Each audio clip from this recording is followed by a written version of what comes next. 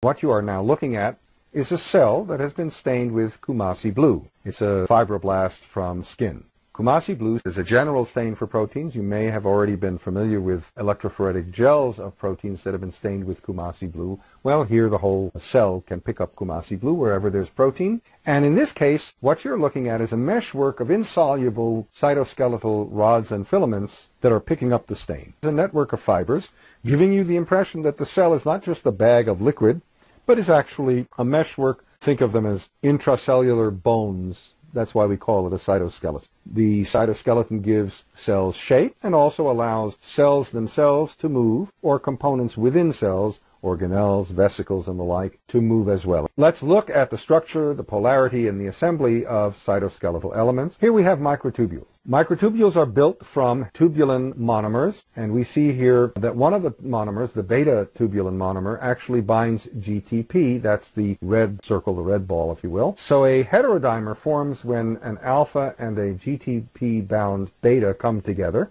And microtubules are formed by the aggregation of these heterodimers containing GTP, at least to start with. Microtubules have polarity, a plus end and a minus end. The plus end is the end at which the heterodimers come together to make a microtubule, and the minus end is where the microtubule might come apart, where the, where the heterodimers come off the microtubule. You'll notice that there's a difference in color uh, between the heterodimers that are adding to the microtubule and those that are coming off. That's because soon after you establish several rows of these heterodimers in a microtubule, the GTP is hydrolyzed, and so in fact most of the length of the microtubule consists of alpha GDP beta tubulin heterodimers. I don't have very many of them showing here, but by far the longest component of a microtubule is bound with GDP, not GTP.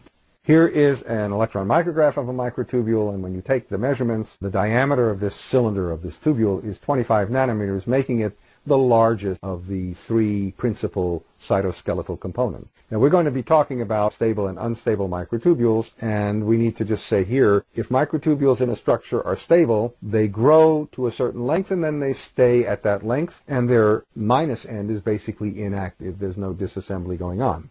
But we'll also see examples of dynamic microtubules which first perhaps form by growing faster than they come apart, but then later the process reverses itself and they come apart faster than they form. That's a, an example of a dynamic microtubule and we're going to see that soon.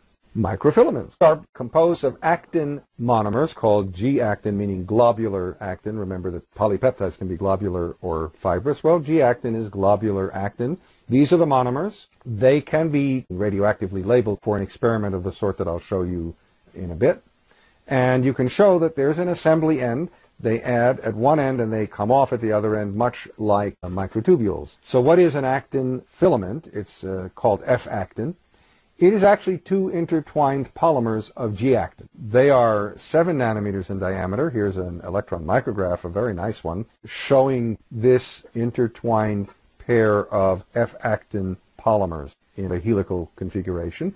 And the diameter of that pair of polymers is 7 nanometers, and that's the narrowest or smallest diameter structure in the cytoskeleton.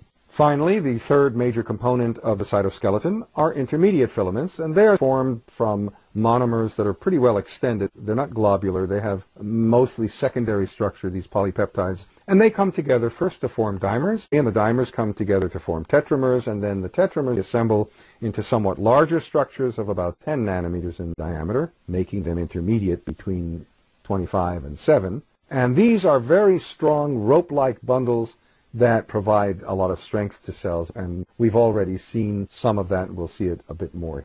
Here's an electron micrograph of intermediate filament or bundles of intermediate filaments at 10 nanometers in diameter.